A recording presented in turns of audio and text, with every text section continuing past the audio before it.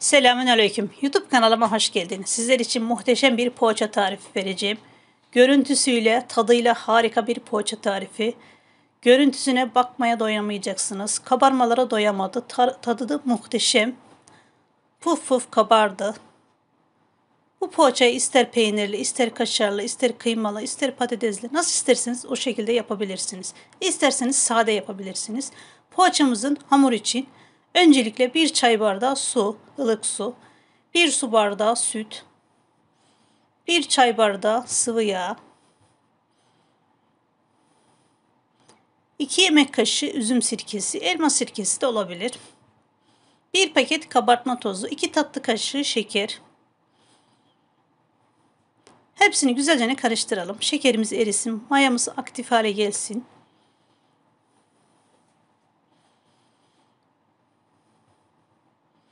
2 yumurta beyazı sarıların üzeri için ayırdık. Tekrar karıştıralım. Unumuzu ilave edelim.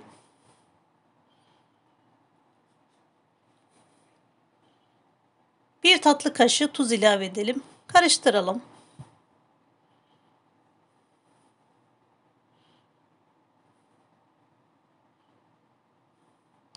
Unumuzu kontrollü bir şekilde ilave edelim. Bazı unlar daha çok su çeker, bazı unlar daha az çeker. Hamurumuz sert bir hamur olmayacak, yumuşak olsun. Hamurumuz ne kadar yumuşak olursa poğaçalarımız o kadar güzel olur. Güzel kabarır. Yumuşaklığını görüyorsunuz. Pamuk gibi. Üzerine kapatalım. Hamurumuz mayalansın.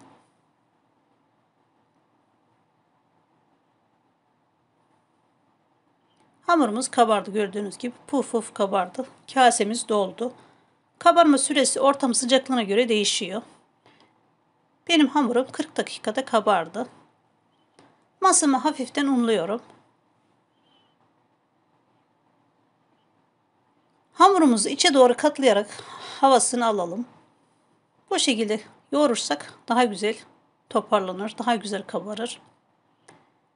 Beze haline getirelim. Üzerine bastırıp hamurumuzu biraz genişletelim. 9 e- eşit beziye ayıralım. 9 tane olacak.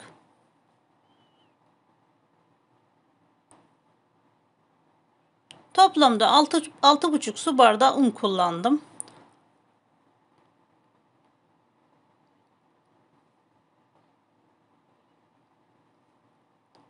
Bezelerimiz yumurtadan büyük.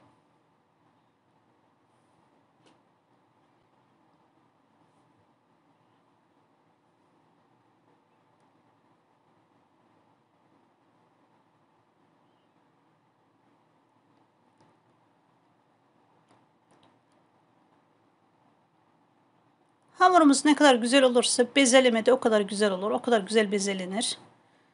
Kasemizi ortaya alalım. İçerisine bir çay kaşığı tereyağı koyalım. Her tarafına gelecek şekilde sürelim. İsterseniz sıvı yağ da sürebilirsiniz. Kasemizi kenara alalım. Hamurumuzu açalım. Hafiften unlayalım yapışmasın açarken. İster merdaneyle açın, ister oklavayla açın.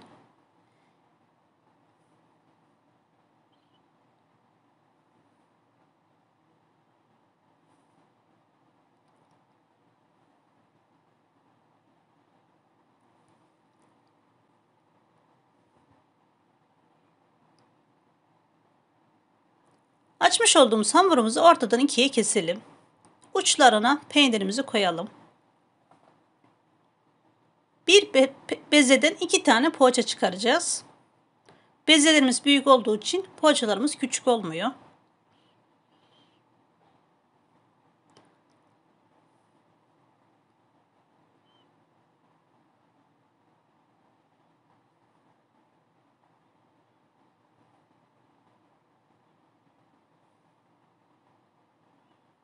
İki tarafından orta kısmına katlayarak bezelerimizi yuvarlayalım poğaçalarımızı.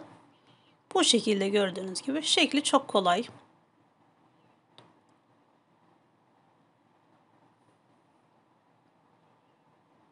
Unlarken çok az unlayalım.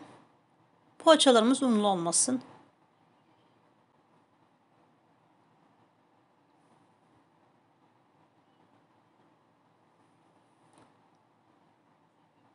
Tekrar ortadan ikiye keselim.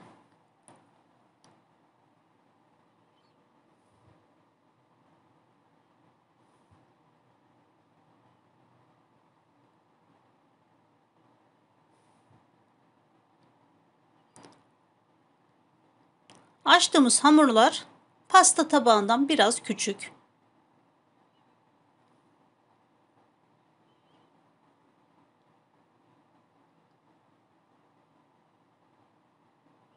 İç harcını istediğiniz gibi koyabilirsiniz. Peynir, kaşar peyniri, kıyma, patates ne varsa elinizde koyabilirsiniz. Sade de yapabilirsiniz.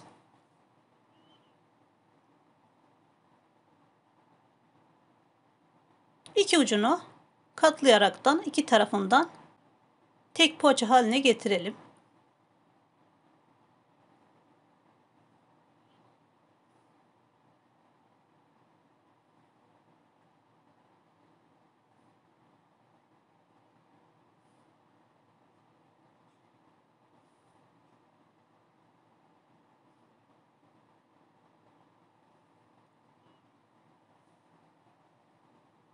Yapmış olduğumuz poğaçalarımız kat kat kabaracak.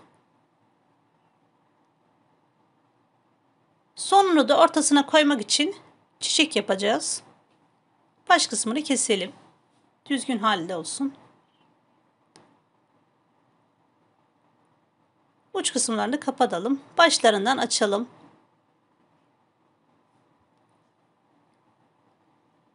Gül haline getirelim gördüğünüz gibi.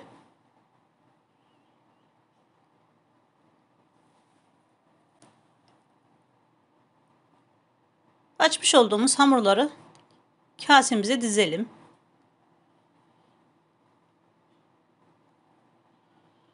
Bir kısmını da ortasına koyalım.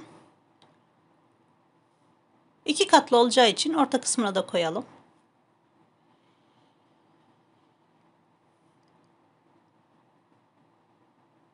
Üzerine kapatalım. 20 dakika tepsi mayalansın. Üzerine 2 yumurta sarısı, 1 yemek kaşığı süt. Karıştıralım. Yumurta sarısını ayırırken üzerini kapatalım. Üzeri kabuk bağlarsa güzel olmaz. Bol bol sürelim poğaçalarımızın üzerine. Gördüğünüz gibi çok güzel kabardı. Puf puf kabardı.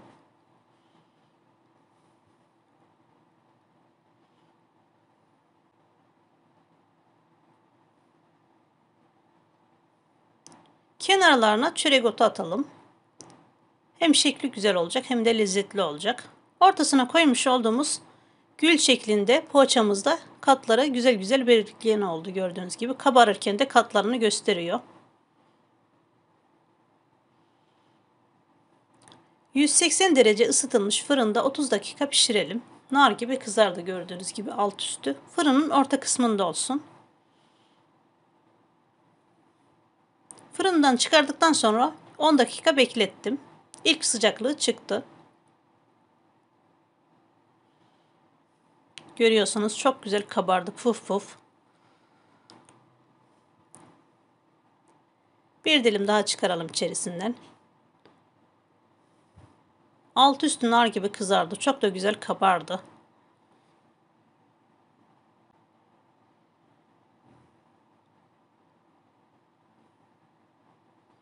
Evet arkadaşlar videomu buraya kadar izlediyseniz beğenip paylaşmayı unutmayın. Sil sesini açarsanız güzel tariflerimden haberdar olacaksınız. Beni izlediğiniz için çok teşekkür ediyorum. Afiyet olsun.